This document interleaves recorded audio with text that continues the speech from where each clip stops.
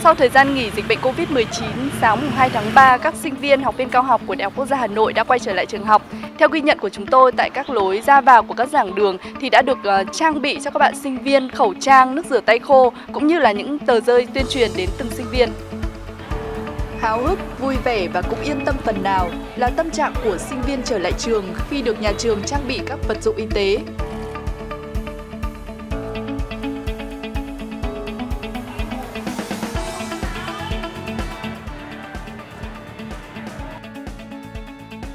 Là sau một quãng nghỉ dài như thế thì em nghĩ là mình cũng nên bắt đầu đi học lại vì nó gây ra cái sự uể oải cho sinh viên.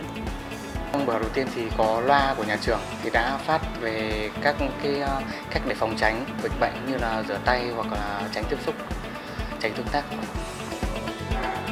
Việc cho sinh viên trở lại trường, Đại học Quốc gia Hà Nội đã đặt an toàn sức khỏe của sinh viên, giảng viên là trên hết và cũng đã cân nhắc rất kỹ việc sinh viên đi học lại có kế hoạch chuẩn bị chu đáo để quá trình học tập, sinh hoạt của sinh viên diễn ra an toàn.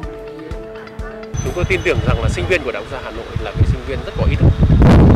và thông qua những cái trang web cũng như là fanpage của Đại học Gia Hà Nội, tôi biết biết là sinh viên rất quan tâm và thường xuyên có cái phản hồi tích uh, liên quan đến vấn đề này. Tuy nhiên chúng ta không lơ là chủ quan bởi vì công việc này là công việc nó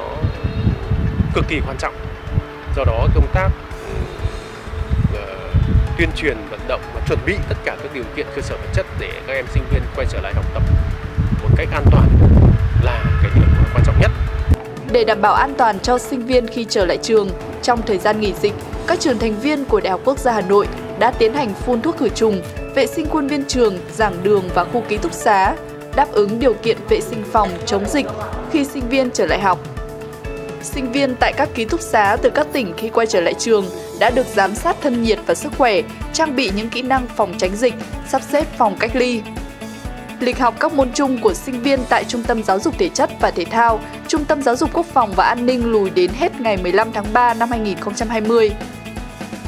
Đối với sinh viên, học viên sau đại học, giảng viên chuyên gia quốc tế có quốc tịch Trung Quốc, Hàn Quốc, Nhật Bản ở trong vùng dịch đang ở tại các quốc gia này tiếp tục nghỉ cho đến khi có thông báo mới.